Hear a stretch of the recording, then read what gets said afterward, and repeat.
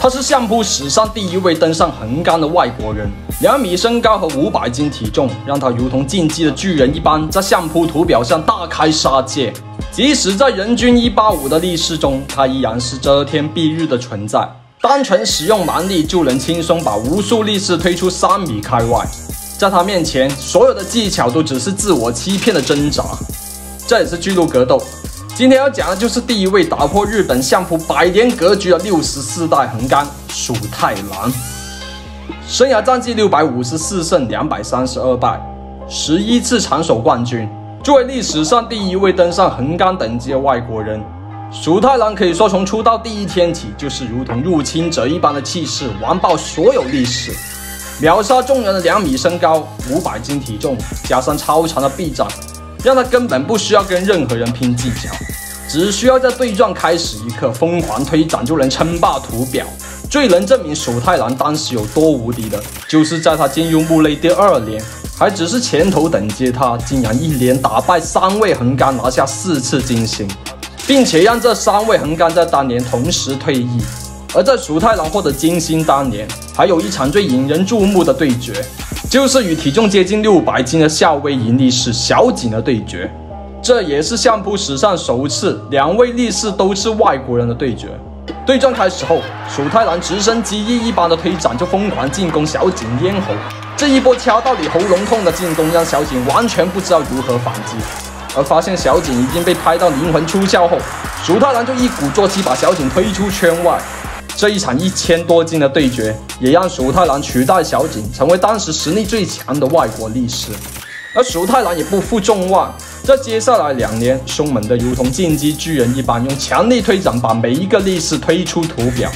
而每一个力士都是像抛物线一般凌空飞出三米开外。这样的实力也让他的等级一飞冲天，直指横杆。而提到蜀太郎，绝对不能忽略桂乃花。两人从出道开始相爱相杀，互有胜负。一个是代表着绝对力量，另一个则是技巧与天赋并存。而蜀太郎生涯与桂来花最巅峰的一场对决，则是两人都已经登上横纲后的最终决赛。谁拿下这场对决，谁就是冠军。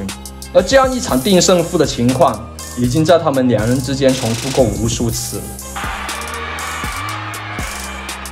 双方对战，鼠太郎马上掐红推掌，把桂老花推到边缘，然后马上抓住兜带继续突进。尽管桂老花在拼命打破对方重心，但已经无力回天。蜀太郎一招肥肉镇压，把桂老花压出图表。尽管蜀太郎漂亮的拿下胜利，但这场对决后，蜀太郎的实力开始走下坡路。这种过分依靠身体优势以及单一的进攻手段，被越来越多力士找到弱点，甚至对战只有一米七的武志海都能被强力扳倒。加上体重过大，也让蜀太郎在接下来几年越来越多休战次数。而最能说明他生涯末期状态下滑的，就是与当时还是大关级别的外国力士武藏王对决。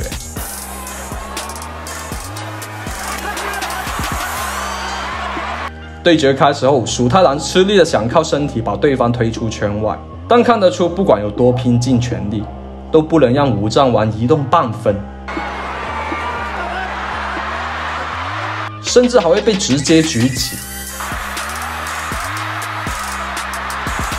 而鼠太郎这场失败也把武藏丸送上横纲的位置。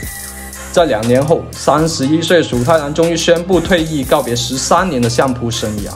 本来这应该是鼠太郎最好的结局吧，但之后他却拿着横纲头衔转战各大格斗擂台，沦为人人都能欺负的沙包，甚至导致横纲这个称号沦为无数人口中的笑话。这是巨鹿格斗，格斗可以三点燃优雅，拜。